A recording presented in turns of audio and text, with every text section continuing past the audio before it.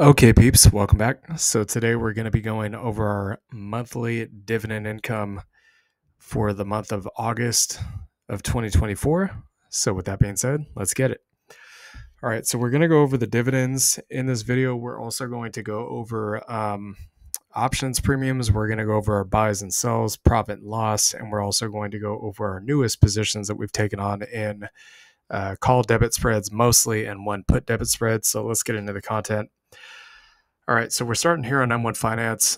Um, just going to go back in time here. Okay, so I'm going to fly through these. So we got 4 cents from PFLT. This is starting August 1st, ending at the end of the month. So 21 10 from PDI, 1 cent from Verizon, uh, $1.21 from UVV, $1.81 from TLTW, 17 cents from BITO, uh, 24 cents and 469 again from OARK, another 1 cent from BITO, uh, for two hundred sixty-five dollars and forty-four cents, and then also four hundred and forty or forty-four dollars and sixty-three cents um, from TSLY and NVDY. Uh, 75 cents from Aptly, 1 cent from Texas Instruments, 45 cent total combined from HRZN, uh, excuse me, 1 cent from PSEC, 5 cents from EFC, $3.92 from RYLD, and again, 464 from RYLD. Now going back over here to kind of the forward and looking forward in time. Uh, okay, so I don't know what that was. Uh, eight. sorry about that, y'all. Uh, eight cents from EFC, five dollars and eighty nine cents from QYLD. Again, QYLD fifty four cents, seven dollars and sixty two cents from RA, a dollar eighty two from USOI, forty eight cents from SVOL, uh, twenty one seventy five from ACP, 14 cents from OPP, 9 cents from uh, CLM, 3 cents from BSTZ.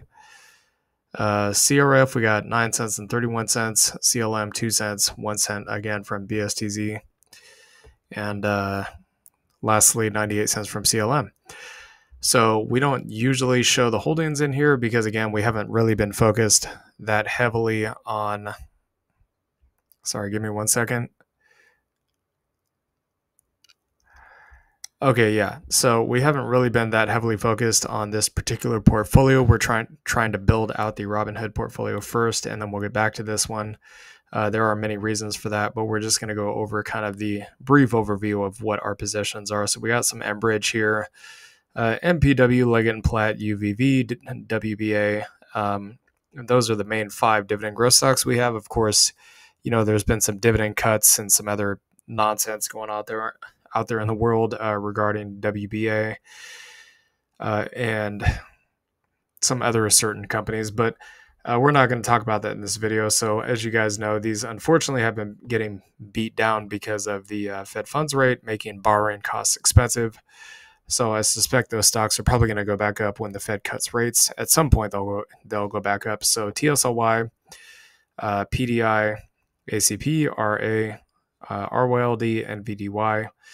GSBD, QYLD, TWO, USOI, TLTW, OARK, uh, CLM, Horizon, Aptly, SVOL, CRF, OPP, and EFC. Uh, so we do plan on adding back OPP, RIV, EFC, and SVOL, and even adding to things like Horizon, CLM, and C- CRF in the future. We're just not going to do that at this point, and maybe even BSTZ as well, and also PFLT. So that's uh, what's going on with this portfolio right now. So the total in terms of dividends for this one for the month is $388.99. So now I'm going to actually go over to the um, Fidelity portfolio. So this way you guys can see nothing has changed. Okay, we still have the same positions, but unfortunately they have kind of gotten beaten to the dust. It's starting to look very attractive to buy these at this point. Uh, whether we're going to buy them or not, or just simply hold them and wait for them to go back into profit, uh, we don't know yet. So that's what it looks like as of right now. So 47 cents um, in terms of savings interest from the SPACs this month on August 30th. You guys can see going back in time. This is the uh, basically the um, orders and activity here activity log so you guys can see the last time we actually made a major transaction here was back in May. Uh, so no funny stuff going on here, okay, guys? Uh, been completely transparent, as you guys can see based on the history. Nothing's changed. Okay, so um, yeah, so that covers the uh, savings interest for that. Now I'm going to go over the crypto portfolio. So the only thing that I can remember that we actually bought this month, um, or not this month, last month in August, in terms of native crypto was just simply Filecoin. Again, the two major ones that we're probably going to buy going into the bull run is going to be Filecoin and AIOZ. Uh, we're pretty bullish on those. So and kind of maybe scroll down here a little bit, see how far down these transactions go. I'm not really sure. Um, okay, so we'll go back down a little bit further here. Uh, we have bought quite a bit uh, during August timeframe, so that's July. July, let's go up here. Uh, more July. Still more July. Okay, here we go. So starting August 10th, so we got uh, 5.21, and then pretty much all of these above this is going to be buys. So, you know, another $10, another $10, another $10, and it keeps on going up the list. Okay, as, as this goes up, the uh, dates go forward in time, so you can see all the different transactions here. Uh, particularly big one right here, $100 worth at $3.63, 27.5 tokens and just keep on going up the list. Um, and kind of take a look at some of the recent transactions. So August 23rd. Again, if we go back in time here, you guys can see uh, that the 25th through the 31st would have been the last week. We, we didn't cover that, of course, because we were going to do the monthly video, which covers it anyway. So you can see here uh, 4.7 tokens, August 25th. Yeah, it's the same one. Okay, so uh, then August 26th, 2.44, uh, August 28th, 5.35, and August 29th, 5.27. So kind of just slowly uh, scaling into this as time moves forward. And of course, nothing has really changed here. We still have all the same positions as you guys can see.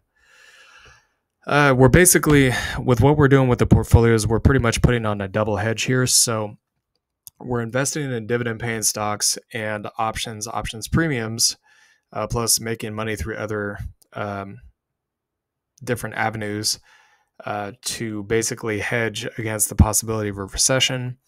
And we're adding to crypto portfolios and um, some called debit spreads, which we're going to get into in a minute, to um, so basically, okay so basically in short the dividend paying stocks and the options premiums from covered calls and cash secured puts in addition to other sources of income are in case of a recession okay? So that would be the kind of worst case scenario. Best case scenario we go into bull markets uh, in crypto and stocks in 2025 and we're adding to these positions in crypto um, going into 2025 and also by by extension buying the dividend paying stocks and the crypto is betting on the bull run coming up in 2025. So that's kind of the game plan as of right now.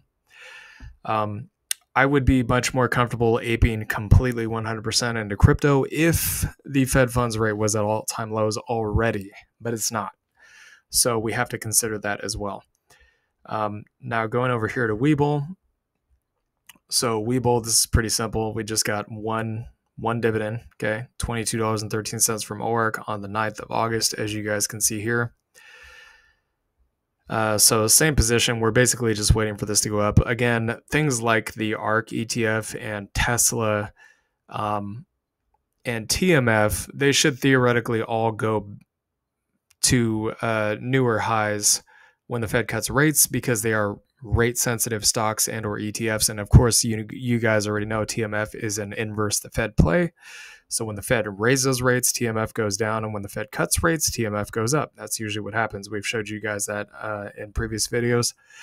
Okay, so we've covered a lot of those. Okay, so you got your 47 cents here, and then 22.13, and then the um, also the uh, M1 Finance dividends. So now we're going to go over the dividend buys and the dividends we got paid out from uh, Robinhood. So we have the dividends paid out from Robinhood came from QDTE, XDTE, SPYT, MSTY, Tesla, NVIDIA, OARK, AMZ, YBIT, Crash, uh, Coney, MRNY, GUI, SQUI, YMAX, YMAG, TSLP, FEPI, and AIPI.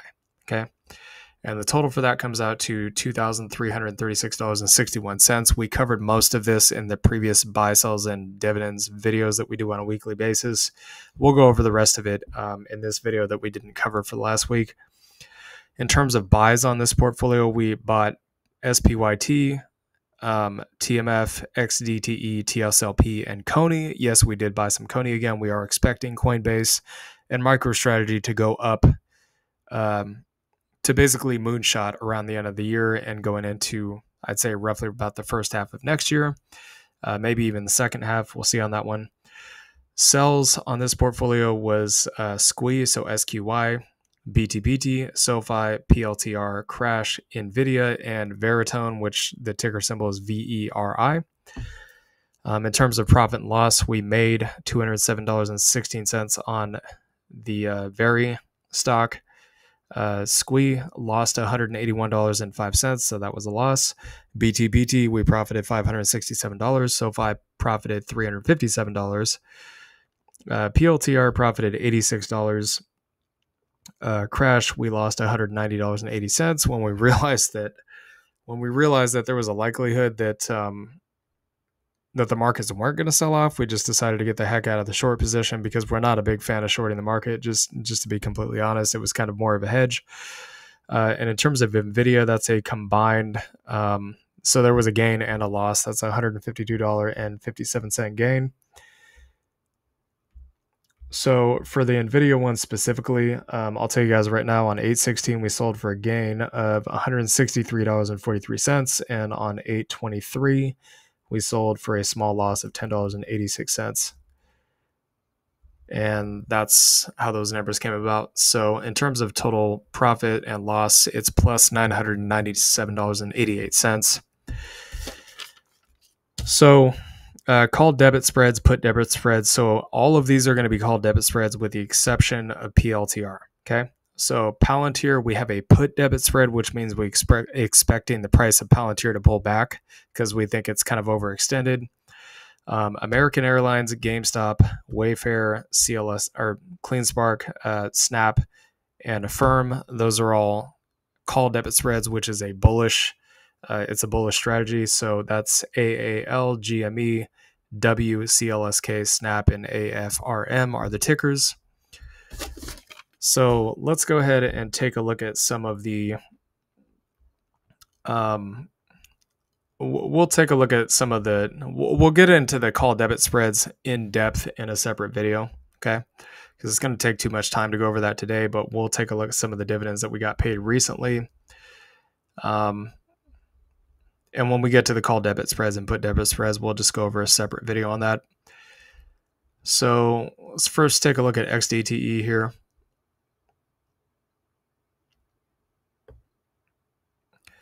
Okay, so this will cover the buys and it will also cover the uh, dividends as well. Okay, so that week, that particular week started on the 25th, if I'm not mistaken. Uh, yes, it did. So 25th through the 31st. Okay, so we got we basically bought 0.19 shares here on the 28th, 0.19 shares on the uh, 29th. Again, relatively small amounts, but we're splitting the money between whatever the up- upcoming X date is for the dividend capture strategy, plus trying to slowly scale up XDTE and that TMF position. So $20.04 on the 30th paid out and then bought another 0.19 shares on basically today.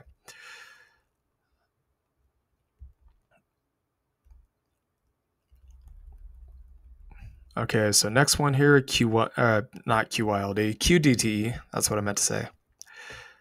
So QDTE, scrolling down here, um, we haven't added really much of anything to it lately, but you guys can uh, see the most recent dividend payout here was $31.26.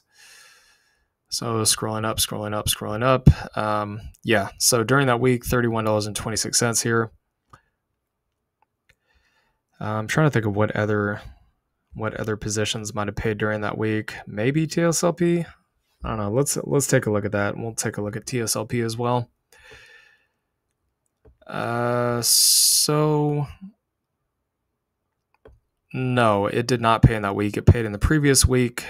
Uh, and you guys can see recently we just bought two shares, so you'll see that on the next upcoming uh, buy, sells, and dividends video.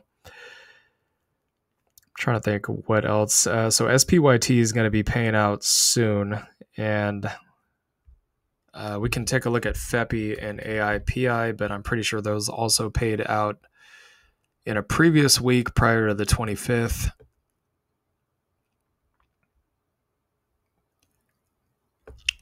Oh, my bad. Um, yeah, so they did actually pay during that week. So you can see here we got 108.03. That's from uh, FEPI, it looks like.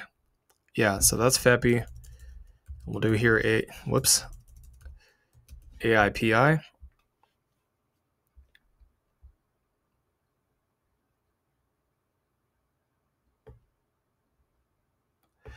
So $146.43 here on the 28th from AIPI. AIPI is kind of underperformed a little bit, but then again, I mean, the market's been a little bit shaky lately. So if we go into another big boom, another big run up in the markets, it wouldn't surprise me if this thing did end up recovering its um, price. Okay, so that, uh, yeah, I'm pretty sure that covers all of the dividends on this um, particular portfolio. So now we'll take a look at the buys for the week. So we took a look already at XDTE. Now we're going to take a look at SPYT.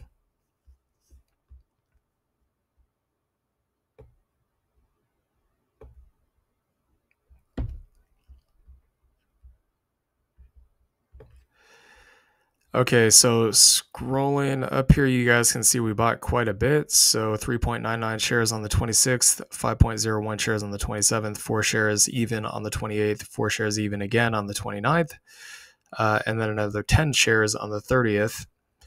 Um, and we, we basically did a double buy here, and that was because, of course, Monday was a holiday, so markets were closed. We basically bought for Monday on Friday. And then we're expecting a dividend here soon of $46, which again, we'll go into the next weekly video. Um, so next one here at TMF, we're going to go to TMF.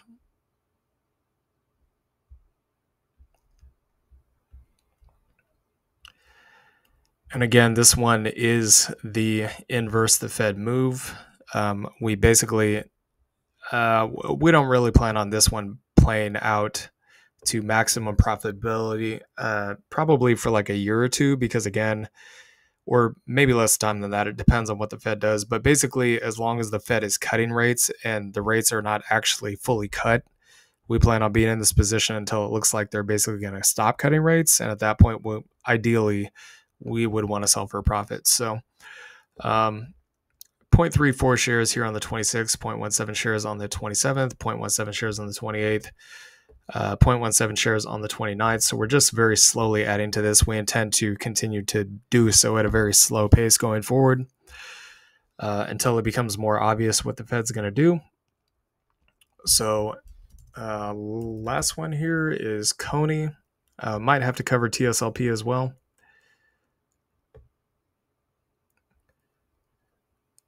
So yeah, you can see here about 5.86 shares earlier today on Coney. Uh, again, I, th- I think that I can't guarantee this, but I think that you know Coinbase, MicroStrategy, and anything else Bitcoin related is likely going to start moving up in October. Uh, I do see that as being highly likely because that's what happened last time, and of course the Fed cut rates during the halving year also last time, and uh, markets had kind of a V-shaped recovery, but then they kind of went sideways into October with very slight markups, and then eventually Bitcoin took off to the moon right around October to December. So uh, TSLP, um, yeah, okay. So we we don't need this one uh, for the buy, sells, and dividends for the previous week because again that week ends on the 31st of August. So we've pretty much, I think we pretty much covered everything in terms of uh, different transactions here, buys, sells, all that jazz.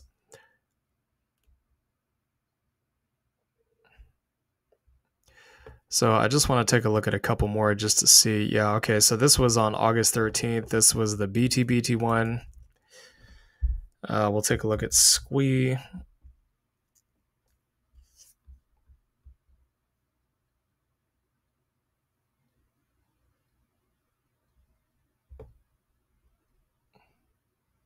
Yeah, so okay, so we got out of this one also on the 20th.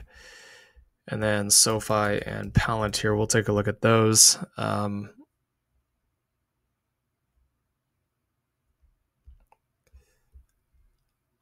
and then, then once we're done with this, I'll give you guys a brief overview of what the call debit spreads uh, look like and what exactly we're expecting from them. So, uh, SoFi, this one we did get out of at a profit. This was earlier, basically earlier in time. So you guys can see we offloaded our shares right there.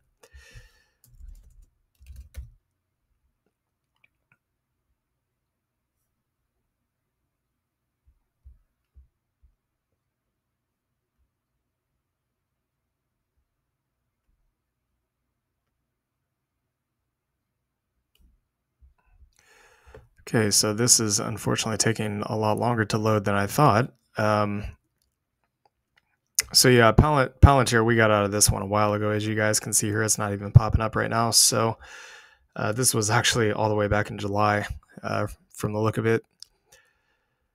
Uh, so yeah, I think I think we basically got our shares called away in um, August timeframe, and that's where the profit comes from the $86. As you guys can see here, we sold the call here, and this was for a, if I'm not mistaken, I believe it was a weekly call going into earnings or something like that. And then it turned out to be profitable, and we just let our shares get called away and recoup the money plus the profit.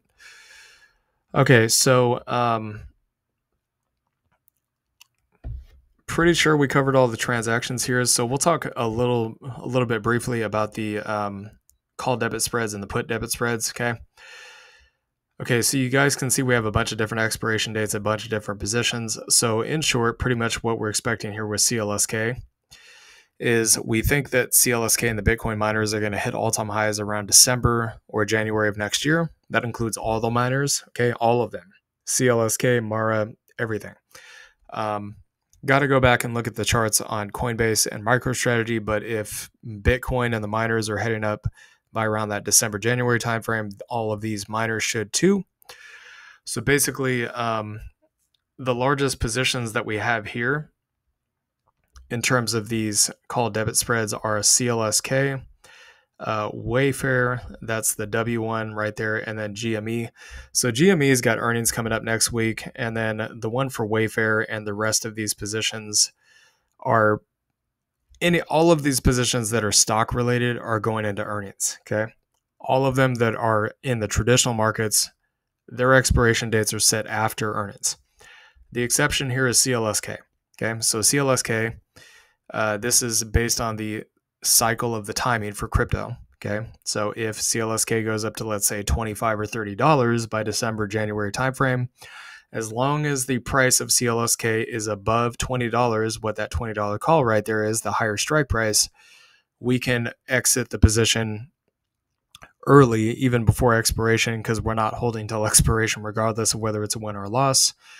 And we can exit out of that position early for maximum profit. Okay. So that's the same is true for all of these call debit spreads. Now, the put debit spread is the opposite. Okay. Put debit spread is a bearish position. Uh, earnings has already happened for Palantir. We're kind of a little bit more short term bearish on Palantir, uh, expecting some kind of pullback because of how overextended it is. We're not bearish on the stock. We just think that a pullback is imminent on the stock. Okay. So I'm actually going to show you guys that here. So PLTR.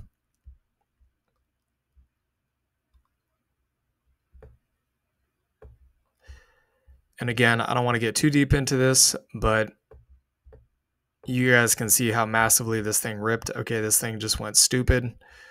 So it literally it literally ripped 55% in just a couple of weeks, okay? Uh, the only thing I worry about here is that maybe we put the expiration date a little bit too close in time, and maybe it should have been a little bit further out, but that remains to be seen. Uh, so you can see the Bollinger Bands. It hit outside the Bollinger Bands here, and then of course you can see it's pulling back. So this 2650 area we're looking at is basically right around the middle of the bands, but you can see these previous peaks here, right around this kind of breakout area on this candle sits around that 2650. So that's kind of the logic behind that. Okay, so we'll get into the whole call debit spread, put debit spread stuff later. So in terms of options premiums, um, what we ended up making this month was $681 in options premiums. So I'm just uh, I'm gonna go over the ones that were for right around the time of the last week of the month because again we don't need to go over the other stuff. Okay. Uh, for the previous weeks, so in terms of uh, let's see here, in terms of the options premiums for the uh, the previous weeks, so we had or for the last week of August, I, I should say. Basically, the uh, only one that we did here was SoundHound. It was a covered call uh, for twenty dollars times nine contracts, so one hundred and eighty bucks. Uh, expiration date is ten eighteen, and you guys can see that right here, ten eighteen, nine sells. Um, and then the strike price is six dollars, and that's nine contracts total. And our average price is five ninety one, so it's basically just right above the strike price. And then a Mara cash secured put on eight thirty uh, for $27 times one contract. We closed that early for a, a slight loss. I don't remember what that was. Um, but again, it wasn't really that much. It was like a very, very small amount, like maybe 15 bucks or something. Uh, and the strike price on that was sixteen dollars, and we just um, we decided to get out of it, free up the capital, and go ahead and do some uh, call debit spreads, which again is the total for the call debit spreads and put debit spreads roughly about three k. Uh, by the end of this year, start of next year, we're expecting about a four and a half X or so on our money. So, anyways, hope you all enjoyed this content. Please like, comment, and subscribe, and I'll see y'all later. Peace.